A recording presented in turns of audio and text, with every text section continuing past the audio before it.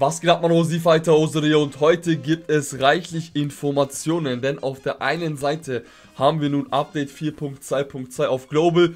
Lasst euch nicht irritieren, Global ging aber jedoch wieder in eine Wartung wegen einem Problem. Darauf komme ich gleich drauf zu sprechen. 4.2.2 ist jedenfalls online. Wir haben für JP 4.3.0 Informationen. Wir wissen auch, wer als nächstes für Global kommt, nämlich in Goku Black. Wir haben auch die Uhrzeiten, werde ich euch gleich sagen. Und wir haben auch die Information zu den V-Jump-Scans, zu den Golden Week Charakteren für JP. Welche das sein werden, Freunde. Wir erwarten einen neuen In Future Trunks und einen neuen Samasu. Da gucken wir uns die Details auch gleich an. Wir haben dazu aber nicht die Scans, aber die Infos und Details schon, Freunde. Und die Scans sollten spätestens morgen folgen. Also dann können wir bildlich auch sehen, ja, wie sie aussehen, sag ich mal, wie ihr Artwork aussieht. Jedenfalls, lasst uns erstmal mit den Infos zu Global anfangen. Wie gesagt, Global ist wieder in einer Wartung wegen einem Fehler. Welchen Fehler denn? Denn da wurde das Awakening, das Dokkan Awakening von dem Int Future Chunks von World Tournament schon im Spiel hinzugefügt und wurde schon als gelistet, ähm, ja, in den Dokkan Awakening Tab kann man ja nachsehen, welche Charaktere ihr Awakening haben, welche Medaillen man braucht und der war da schon drin, obwohl nicht drin sein sollte, denn ja, zum einen wird der erst noch released zum Tournament, was noch kommen wird im Anfang Mai. Und zum anderen war das dann quasi alles verbuggt, deswegen ging Global wieder in eine Wartung, aber was zum Update 4.2.2 hinzukam, ist eigentlich nicht allzu viel, Freunde. Das Hauptsächliche, was sich daran geändert hat, zeige ich euch mal ganz kurz, ist das Interface. Das User Interface ist jetzt quasi so wie auf JP und zwar, wenn ihr zum Beispiel einen Charakter anseht, dann wissen wir auf JP, da sind jetzt quasi die Buttons in Farbe, HP ist in grün, Attack in Rot und Defense in Blau. Ansonsten ist es jetzt vom Overlay her auf Global genauso wie es auf JP ist, Freunde. Auf der ersten Seite seht ihr Level des Charakters Kosten, den Leader Skill, die ähm, SAs könnt ihr euch ansehen. Dann auf der nächsten Seite, wenn ihr nach, ja, nach links swiped oder einfach hier unten die Pfeile betätigt oder ja, auf sie tippt, damit kommt ihr die Passive des Charakters zu sehen, falls ihr ein Active Skill habt, ein Active Skill, ihr Dupe System, dann an der Stelle die Link Skills und am Ende noch die Kategorien. Oder ihr klickt einfach ganz ähm, easy unten rechts drauf, dann wird das Ganze in einem in einer Liste angezeigt und ihr könnt quasi die ganzen Informationen so ansehen, wie es hier ist. Und so ist es jetzt auch auf Global, Freunde. Wie gesagt, Global ist jedoch offline. Lasst euch nicht irritieren. Bei Transformationscharakteren beispielsweise ist das folgendermaßen. Da ist dieser Transformationsbutton jetzt oben, statt unten rechts, wie beispielsweise bei Evo Vegeta und hier der Button rechts bei jedem Charakter. Da könnt ihr natürlich einsehen, okay, was und wie haben die Charaktere oder wo und wie bekommt ihr die Medaillen und so und so fort. Könnt direkt ins Tube-System springen und so und so fort, Freunde, wie das ja quasi auf JP ist. So ist jetzt auf Global vom Interface her, Freunde, und das ist eigentlich das Hauptsächliche, was auf Global geändert hat. Und zudem noch, Freunde, kam auf Global diese folgenden Sachen hinzu. Wir haben ein neues Peppy Gold Banner, gucken wir uns gleich an. Da werdet ihr aber nicht summon, sag ich mal, oder ich empfehle euch da nicht zu summon. Die ersten drei Mutis sind seit 30 Stones, ist ein Peppy Gold Banner. Ich meine, Bulla hat die Awakening Awakening bekommen. Sie ist wirklich sehr gut, die gucken gleich an, aber außerhalb davon muss das wirklich nicht sein. Spart lieber eure Stones.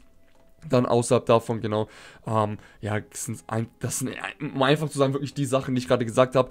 Ähm, hier wundern sich auch auf Reddit, dass Battlefield noch nicht online ist. Battlefield kommt aber erst morgen, 8.30 Uhr sollte das sein, unserer Zeit. Und der letzte Metal Cooler Duke wurde noch hinzugefügt in den Barbershop. Und die Peppy Gods Event ist, also das Peppy Gods Event mit Rebellion ist auch live, weil ihr die Awakening-Medaille braucht, um Bulla und Chichi zu awaken. Sie brauchen jeweils 20 Medaillendrops aus der letzten Stage, Freunde, von dem Peppy Gods Rebellion Stage. Nach dem Awakening von Chichi hat Chichi folgendes drauf. Durch die Passive hat sie 100% auf den Angriff at Start of Turn und gibt Peppy Gods Kategoriemitgliedern Key plus 3 und 120% Verteidigung. Das ist gestört. Also, falls ihr Chichi habt, erwaked sie auf jeden Fall. Ihr könnt sie auf jeden Fall benutzen für Peppy Gold Stage in Super Bad Road beispielsweise. Sie ist echt gut. Gestört zu zwei Bulla. Bulla, ihr Awakening ist wirklich 1A. Also, wenn ihr Bulla habt, erwaked sie auf jeden Fall 20 Medaillen braucht ihr. Sie tut zum einen massive ihren Angriff erhöhen mit jeder Super Attack, macht Supreme Damage und das stackt sich. Das erhöht sich die ganze Zeit. Aber gestört wird es bei der Passive, denn sie gibt jedem Verbündeten Key plus 3 auf den Angriff 40%. Wirklich jedem jedem Verbündeten und sie hat eine Dodge-Chance bis zu 60% pro Peppy Gods Mitglied im Team. Sollten sie, sollte sie 30% bekommen, war das glaube ich, wenn ich es richtig gelesen habe, bevor das Ganze offline geht. Und Maximum 60%, also sie kann auch noch dodgen, ist wirklich sehr, sehr gut, also Bulla, wenn ihr sagt, awaked sie auf jeden Fall.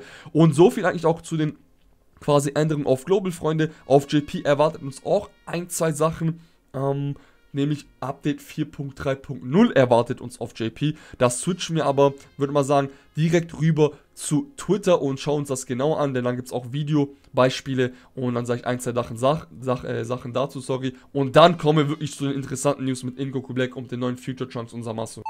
Alles klar, Freunde, und zwar im kommenden JP 4.3.0 Update können wir zum einen dann mal endlich im Spiel selbst auch von jedem Charakter die Super Attack sehen. Das war auch ja, haben sich auch viele erwünscht. Normalerweise war es ja so, dass man das im Scouter sehen konnte, in dem Banner, aber nur von der SSR-Version. Jetzt könnt ihr das bei jedem Charakter sehen, von jedem ihrer Awakenings, finde ich auf jeden Fall sehr gut. Wird in Zukunft noch hinzugefügt. Wann 4.3.0 für JP kommt, gibt noch, es gibt dafür noch kein Datum, sollte aber in der nächsten Zeit sein. Ist auf jeden Fall ein schönes Update, sage ich mal. Kann man abnehmen, in, abnehmen, sage ich, annehmen. Interessant wird es dann auf jeden Fall hier denn das Filtersystem wird angepasst und man kann dann nun, wenn 4.3.0 online kommt auf JP, nach Link-Skills suchen, nach Halleluja, nicht nur nach dem Namen, weil normal, also bis jetzt kann man ja nur nach einem Namen suchen durch das Filtersystem in Dokkan. Nun kann man nach Link-Skills suchen und man kann aber auch nach gewissen Effekten suchen, wie, wie zum Beispiel, wenn ein Charakter Stunt sieht und so und so fort. Logo auf JP ist halt alles auf Japanisch, ja, der eine oder andere versteht es, der eine oder andere versteht es nicht, aber in Zukunft kommt das ja auch Global, deswegen freue ich mich auf jeden Fall drauf.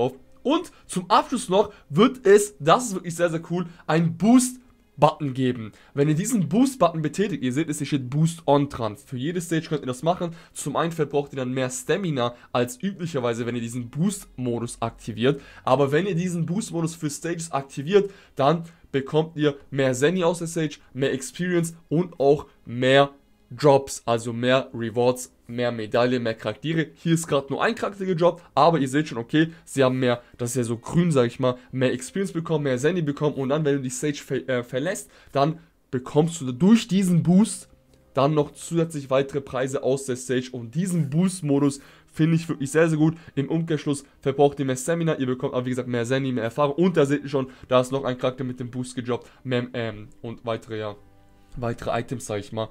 Das ist wirklich cool. Also hier an der Stelle, wenn ihr überlegt, bei Prime Battle, wenn ihr diesen Boost-Modus aktiviert, okay, jetzt hat es halt mehr Stamina. In dem Fall sollte es, also hier steht es ja doppelt, die Stamina wird verdoppelt. Wenn es bei jeder Stage so ist, dann ist halt so, aber nehmen wir auf jeden Fall an. Aber dafür bekommt ihr dann mehr Preise, da können dann mehr Sachen droppen. Finde ich cool, eine sehr, sehr gute Änderung. Und zwar, wo es interessant wird, sind jetzt diese Leaks. Schaut natürlich an jeden, Dokana, Isilse, Kawaii, an jene, die ich hier quasi benutzt habe, Freunde. Ich werde die Links in die Beschreibung setzen. Int Goku Black kommt für die globale Version am 25.04.8.30 Uhr nächste Woche. Finde es ein wenig zu spät. Diese Woche hätte man ihn auch bringen können, denn Metal Coolers Banner geht schon am 19. offline, aber am 25.04. startet dann die neue Celebration für Global. Die Celebration wird sich um die Zukunft sehen, also um die Zukunftssage, sag ich mal. Und da wird dann Int Goku Black für Global kommen, Freunde. 25.04. 8.30 Uhr. Genau.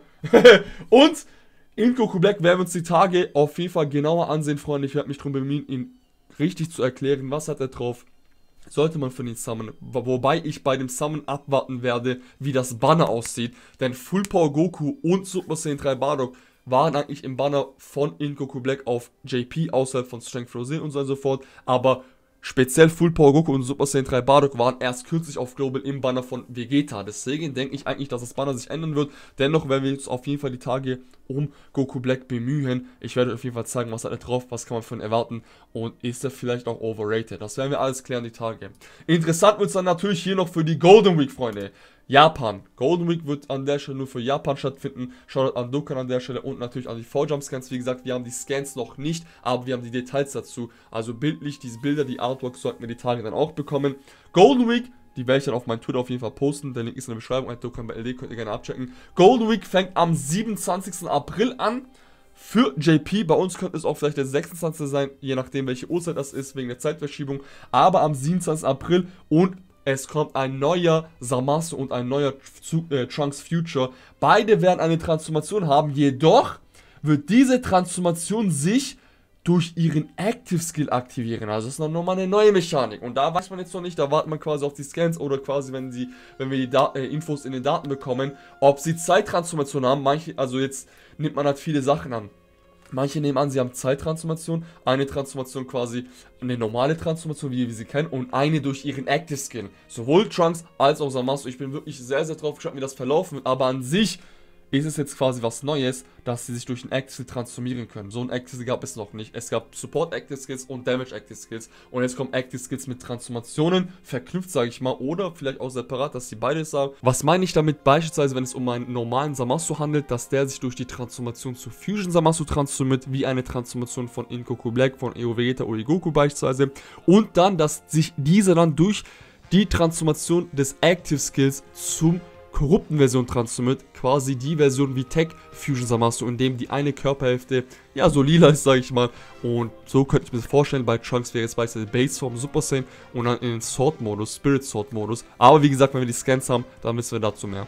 Bin auf jeden Fall drauf gespannt, Freunde, aber ein neuer Samas und ein neuer Trunks Future werden kommen. Lasst mich gerne wissen, was ihr davon haltet. Und für JP soll es ein Fan sein, wird es bis zu 42 Dragon Stones geben am Goku-Tag. Goku-Tag fängt an, das ist glaube ich am 9. 10. und 11. Ne, 8., 9. und 11. Ne, 8., 9. und 10. Mai, sorry, sollten Goku Day sein, aber das sehen wir dann auch gleich hier. Ah ja, hier steht es dran, hier steht es dran, sorry. Am 8. Mai gibt es 13 Dragon Stones, am 19, 9. Mai, sorry, 14 Dragon Stones und am 10. Mai 15 Dragon Stones. Schaut an Govita an der Stelle natürlich, er hat die V-Jump-Scans natürlich hier ähm, jetzt schriftlich preisgegeben. Die Scans erwarten wir noch, wie gesagt. So viel dazu, lasst mir auf jeden Fall wissen, was haltet ihr von dem neuen Trunks Future, neuen Samasu für Golden Week. Ich bin echt drauf gespannt, was sie drauf haben werden. Dann gibt es noch ein, zwei weitere Sachen zu ein, zwei weiteren Spielen. Freunde, Legends bekommt einen Super Saiyan Broly, aber aus Dragon Ball Z, nicht aus Dragon Ball Super. Und ein Metal Cooler wird kommen. Außerhalb davon, Freunde, ähm, wird Xenoverse 2 ein DLC bekommen mit einem Super Saiyan God Vegeta als spielbaren Charakter, den ihr dann spielen könnt sollte im Juni kommen. Und für Dragon Ball Fighters kommt ja ein Goku GT als DLC-Charakter. Und dieser wird sich, man nimmt es aktuell an, während der Super Attack zu Super Saiyan 4 Goku transformieren. Ähnlich wie Super Saiyan Goku, der sich bei der ähm, Super Attack zu Super Saiyan 3 Goku transformiert. Jump Force, wie gesagt, das sind die DLC-Charaktere, die für Jump Force kommen. Die hatten wir auch letztens schon besprochen. Biscuit, Toshiro, Katsugi, äh, Trafalgar Grimjo und Madara. Und ansonsten wäre es mehr oder weniger so viel, genau. Jump Force bekommt man auch den fetten Bu, den guten Bu, sage ich mal. Und dann gucken wir mal ganz kurz noch ein, zwei Sachen für Dragon Ball an, für, äh, was der Dragon Ball Dokkan Battle. Nämlich zum einen werden wir dann noch ein Extreme Battle bekommen für Global am 30. April 8.30 Uhr. Das Extreme Battle von Super Saiyan 3 Vegeta. Am 25. kommt dieses Event auch online. Am 25. schaltet auch Goku Black mit seiner Celebration. Zudem, ja, die Active Skills wurden auf Global hinzugefügt mit dem Update, aber es gibt ja noch keine Active Skills Charaktere. Aber das ist ja eh der Fall, Freunde. Das 4 Jubiläum in Global ist ja erst im Juli und davor werden sicherlich Charaktere vorgezogen, denn da fehlt Content. Und Kid Goku, bin ich mir sicher, wird auch vorgezogen und der hat ja einen Active Skill. Deswegen wurden die Active Skills quasi auch implementiert in dem, im Spiel mit 4.2.2. Gibt aber noch keine Active Skill Charaktere. C18 wird, der nächste, wird die nächste Preiskarte für das World Tournament of Global. Das World Tournament of Global fängt am 5. Nee, am 4. Mai an, sorry, 4. Mai 8.30 Uhr. Und wie gesagt, Super Trunks bekommt sein Awakening, aber wurde schon ins Spiel hinzugefügt, deswegen ist wieder eine Wartung. Außerhalb davon, Freunde, mehr oder weniger wären es alle Informationen, die wir aktuell haben zu Dokkan Battle, zu den V-Jump-Charakteren oder zu den V-Jump-Scans. Die äh, Scans selbst, wie gesagt, haben wir noch nicht, sollten die Tage kommen. Ich werde sie auf jeden Fall auf, ähm, ja, auf meiner Twitter-Page posten oder auf meinem Discord etc. Könnt ihr gerne abchecken. Ich gucke mal ganz kurz, ob irgendwas Neues hinzukam. Genau, außerhalb davon bedanke ich mich dann fürs Zusehen. Ich wünsche euch auf jeden Fall noch einen schönen Tag und wir sehen uns das nächste Mal. Macht's gut, Freunde. Peace. When I pull up at your girl, mommy wanna be my word. You a man, bro, don't you cry. I'ma get her back after I'm done, I'm done. Next time you wait won't be alright.